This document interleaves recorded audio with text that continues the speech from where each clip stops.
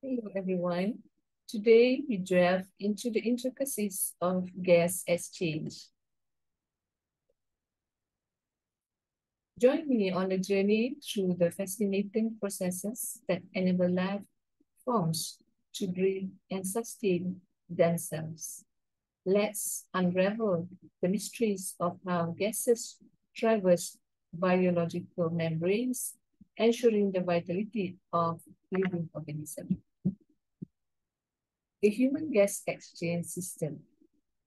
Cartilage is the trachea and bronchi, which helps to maintain the structure, structural integrity, preventing collapse during breathing and ensuring a constant airflow.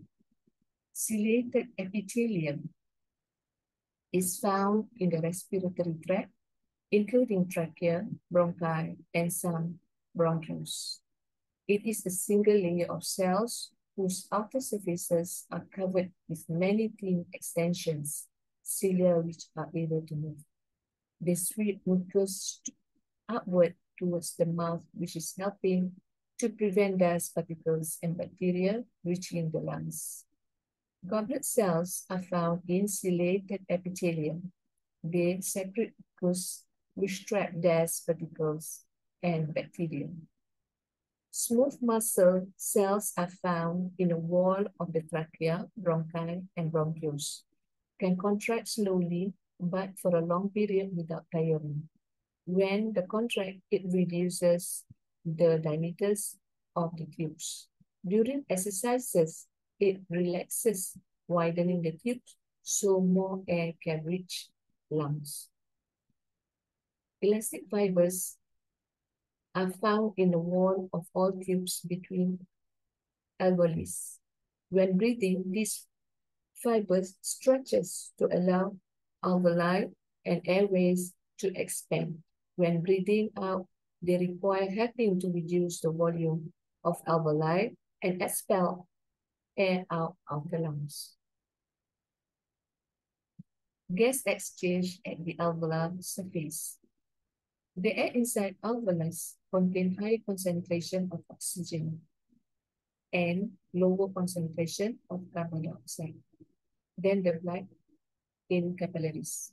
The blood has many routes to the lungs in pulmonary artery, which carry the oxygenated blood from the you can see from the blue diagram, where the blood has been brought to the lung in pulmonary artery which carry deoxygenated blood from the heart.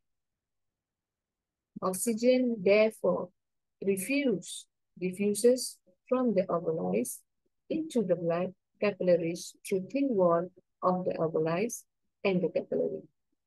And carbon dioxide diffuses from the capillary into the blood. The diffusion gradients for these gases are maintained by breathing movement and also the blood flow and the breathing movement which draw air from outside the body into the lungs and push it out again. This maintain a relatively high concentration of oxygen and low concentration of carbon dioxide in the alveoli.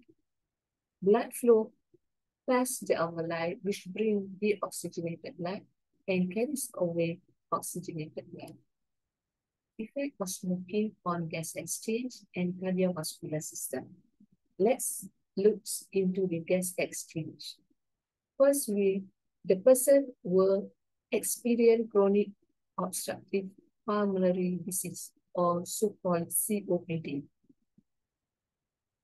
Person who has chronic bronchitis and emphysema, it can be extremely disabling. Number two, effect of smoking is chronic bronchitis. Various components of cigarette smoke including tar, can cause goblet cells to increase mucus production and cilia to beat less strongly. And these cause mucus to build up may partially block alveolus. So this hmm. makes gas exchange more difficult as the distance between the air in alveoli and blood in capillaries is greater. Mucus infected with bacteria causing bronchitis. Mucus stimulate persistent coughing can damage tissues in the wall of the airways, making them stiffer and airways narrower. And another effect of smoking is on emphysema. Smoking can cause inflammation in the lungs, which is can increase the number of white blood cells, and some which secret chemical damage elastic fiber. And this make alveoli less elastic. This they may burst or resulting in larger spaces. And on top of that, it will reduce space area available for gas exchange. And the person with emphysema have short breath, struggle to breathe as deeply as they need, especially during exercising. And number four, the effect of smoking is on the lung cancer. Carcinogen on tar can cause changes in DNA in blood cells, including genes that control cell division. Cigarette that smoke most likely to form in the lungs may form anywhere in the gas exchange system and any part of the body. And finally, we have effect of smoking is on cardiovascular system. First, we have the issues regarding atherosclerosis. The nicotine and carbon monoxide in tobacco smoke can increase developing the atherosclerosis.